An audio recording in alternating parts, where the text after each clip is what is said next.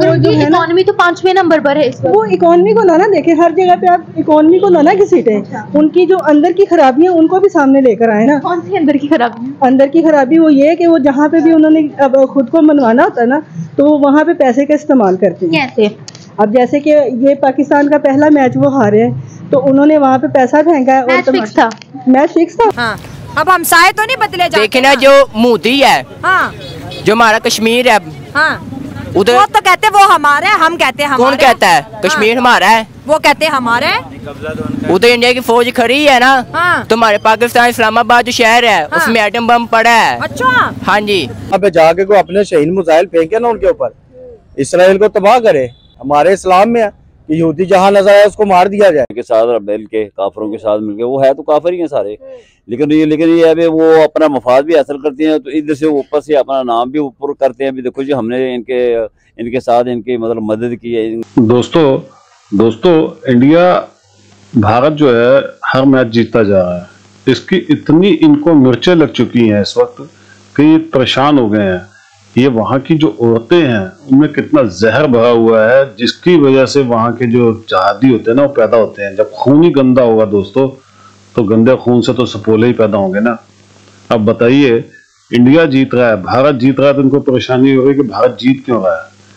भारत हार क्यों नहीं रहा है? ये सोच रहे हैं कि भारत ने पैसा दे देकर सबको खरीद लिया है। ये अपने जैसा समझते हैं, सबको बिकाओ, क्योंकि ये तो बिके हुए हैं।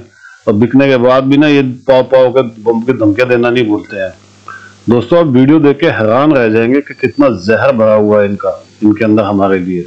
और जो लोग कहते हैं ना कि पाकिस्तान की मदद करनी चाहिए, उनको ये वीडियो ज़रूर दिखाइएगा। लात मार के निकाल दो इनको दुनिया से। मैं तो ये कहता हूँ दोस्तों। दोस्तों, वीडियो कैसी लगी देख के कमेंट ज़रूर कीजिएगा।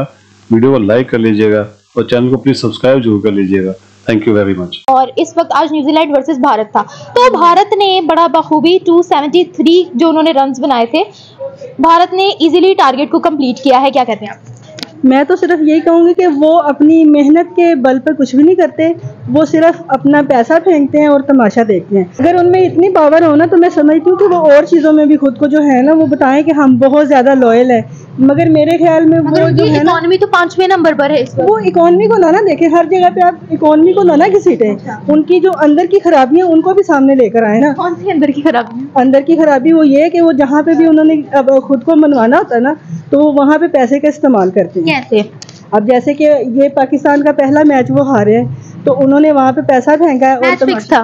मैच फिक्स था वो तो बांग्लादेश से भी जीत म- वो तो अफ़गानिस्तान से भी जीते हैं बांग्लादेश से भी जीते हैं। असल में पता क्या बात है आजकल दौर है पैसे का। पैसा जहाँ पे भी फेंके ना वहाँ पे वो बंदा भी जी करता है जिसने जी नहीं करनी होती। अच्छा। तो वो पैसे के बल पे हर चीज़ को वो अचीव कर रहे हैं। मतलब भारत अपनी रेपुटेशन को मज़बूत करना चाह रहा है। नहीं वो इस तरह से कभी नहीं मज़बूत होगी। अगर वो इतने ही मर्द के बच्चे हैं ना तो आए हमारी भार ये क्या कहते हैं बॉर्डर लाइन बॉर्डर लाइन पर आए ना अच्छा। हमारे फौजियों के साथ लड़कर दिखाएँ कि वो क्या करेंगे। उनमें इतना पावर ही नहीं है कि वो हमारे फौजियों की वो है वो सामना कर सके।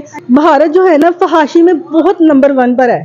उनके मुल्क में फहाशी इस लेवल की है कि वहाँ पे औरतें जो है ना नंगे लिबास ये पहनने तो उनकी अपनी मर्ज़ी है। ये तो हर कंट्री का अपना कल्चर होता है। हम तुर्की जाते हैं हम तुर्की के ड्रामा सीरियल्स देखते हैं। उन्होंने कैसा लिबास पहना होता है। तुर्की को तो हम कहते हैं ना कि वहाँ पर मुसलमान बहुत ज़्यादा है। आप अरबों को देख लें अरबों का क्या लिबास होता है? ये तो हर हर मुल्क की अपनी मर्ज़ी अपना कल्चर है। अभी हम आप पाकिस्तान में अपने ड्रामों वगैरह ये बात गलत है। अभी भी आप देखें ना कि वो अगर करते ना अरब जो करते हैं वो अभी भी आपको टीवी चैनल्स पे देखने को नहीं मिलेगा। बेली डांस कहाँ से आया है? वो बेशक वहाँ से आया है मगर उनको उन्होंने कॉपी किसको किया है? ये आप देखें ना। नहीं बेली डांस तो था ही अरबों का। वो था मगर वो पहले छुप छुपा के करते थे। उनको हिम्मत देने वाला कौन है? इंडिया। अच्छा। आप ना नहीं आप उनकी फ़िल्म देख ले ना एक। आप फैमिली में बैठ के उनकी फ़िल्म नहीं देख सकते। आप तो पाकिस्तानी फ़िल्में भी हम फैमिली में बैठ के नहीं देख आप उनका एक ड्रामा ही देख लेना वो भी आप फैमिली में बैठ के इकट्ठे नहीं देख सकते। अच्छा। उनके ड्रामे इतने गंदे लेवल के हैं हमारे तो ड्रामे फ़िल्में भी फ़िल्में भी इस लेवल की नहीं बनती कि वो उनके ड्रामों को ही खाली वो है जो पीछे कर सकें। इस तरह गंदी चीज़ें बनाते हैं वो। हर मुल्क की अगर हम बात करें हम तुर्की के ड्रामे देखते हैं हम तुर्की के वो तो सेंसर करके पाकिस्तान में जो है वो लगाए जाते हैं। अगर हम रियल देखें ना तो वो भी देखने के काबिल नहीं होते। नहीं मैं आपको गलत बात है ये गलत बात है। पाकिस्तान जो है ना अभी भी अपनी लिमिट में जा रहा है। अगर आप इंडिया की जो है ना विदाउट सेंसर चीज़ें देखें तो आप वहीं पे पीटना तो शुरू कर अपनी अपनी बात है ना हम हॉलीवुड की वो तो उनकी अपनी मर्ज़ी है ना। जिनका जो वज़ीर है वो ही एक चोर है और वो चाय चाय बेचता होता था। हैं, जी मोदी। मुझे बताएँ कि वो पढ़ा लिखा भी नहीं है वो चाय बेचता था। अच्छा वो चाय बेचता था? बन गया। वो चाय बेचता था। उस चाय वाले ने आज इंडिया को कहाँ से उठाकर पाँचवें नंबर पर इकोनॉमी लाकर खड़ा कर दिया? ऑस्ट्रेलिया के प्राइम मिनिस्टर कहते हैं मोदी इज़ द बॉस। और जो हमारे पढ़े लिखे प्राइम मिनिस्टर है उनको कोई पूछता नहीं। कुछ नहीं कर रहा। उसके जो पीछे मशीर बैठे होते हैं ना वो उसको मशवरा देते हैं। और सिर्फ़ कौन मशवरा देता है? उसके मशीर जो है, वो उसको मशुरा देते हैं। वो सिर्फ़ पैसे के भी हाफ़ पे जो भी कुछ कर रहा है, कर रहा है। अच्छा। पाकिस्तान की पॉलिटिक्स की बात करते हैं, हमारे तो पढ़े लिखे आए हैं ना, सारे के सारे, बिलावल की बात करते वो इतना पढ़ा लिखा है। इन सबकी बात करते हैं अगर जितने भी पॉलिटिशियन है ये पढ़े लिखे हैं मगर फिर भी पचासवें नंबर पे भी नहीं आती हमारी अमेरिका जो है ना वो तमाशा करवा रहा है पीछे डोरे वो हिला रहा है। पागल है हम मानते हैं नहीं वो तो क्या कहते हैं एक चौधरी होता है ना गाँव का अच्छा। वो चौधरी है खुद बनाया हुआ ना तो ये हमारी अपनी गलती है की हम गुलाम है। हम हमें बनाने वाले भी जो दूसरे ममालिक के लोग हैं ना वो चाहते ही नहीं कि पाकिस्तान स्टैंड हो जाए। अच्छा। पाकिस्तान को वो स्टैंड लेने दे ही नहीं और रहे पाकिस्तान की क्रिकेट टीम को भी। पाकिस्तान की क्रिकेट टीम को पाकिस्तान की क्रिकेट टीम की अभी तक की क्या परफॉर्मेंस है? पाकिस्तान की क्रिकेट टीम को भी ये जो है ना बड़े देखे ना अभी जब वर्ल्ड कप होना था उन्होंने पाकिस्तान में होने ही नहीं दिया। क्यों?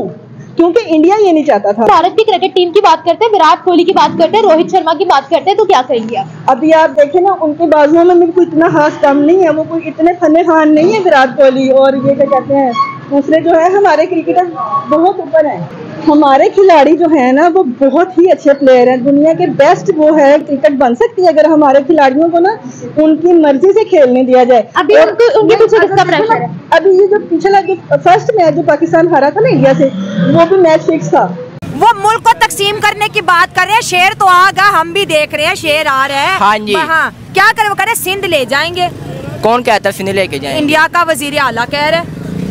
हम हमारा इंडिया से कोई ताल्लुक नहीं है। हाँ, सुन ले कोई तो हाँ हम अपने पाकिस्तान हमारा हैं। इंडिया से क्या ताल्लुक है? हाँ, कोई ताल्लुक हमसाए वाला तो ताल्लुक है ना?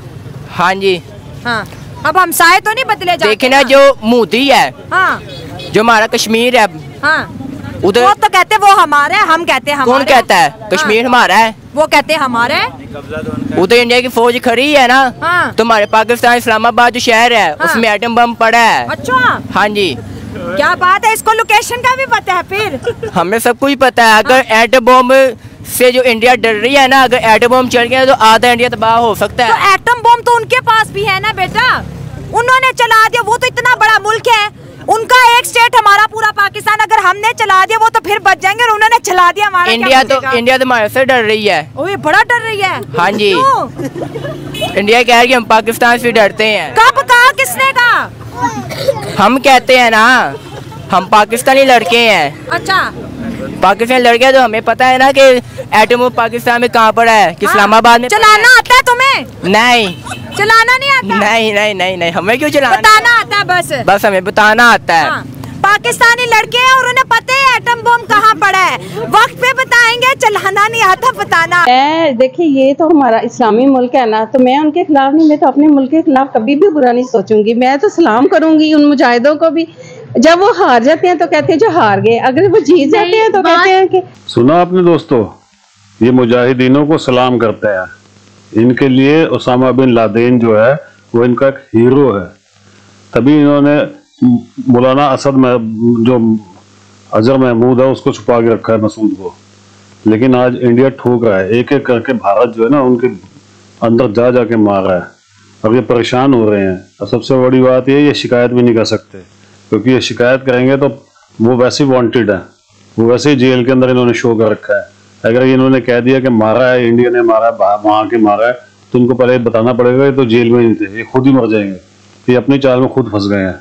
तो दोस्तों इन्हें देख लीजिए कितना जहर है वहाँ के लोगों में, औरतों में, बच्चों में। और लोग कहते हैं कि नहीं जी, पाकिस्तान के साथ सुलह कर लेना चाहिए। कभी भी ज़िंदगी में दोस्त ये वो सपोले हैं जो इनको, जिसने भी इनको शर्म दी है, इन्होंने उसी को जाकर डस लिया है। ये वो कभी लायक नहीं है कि इनके साथ कोई दोस्ती करे। ये भरोसे लायक नहीं है। दोस्तों, वीडियो कैसी लगी, प्लीज़ कमेंट्स करके बताइएगा। वीडियो को लाइक कर लीजिएगा और चैनल को प्लीज़ सब्सक्राइब ज़रूर कर लीजिएगा। Thank you very much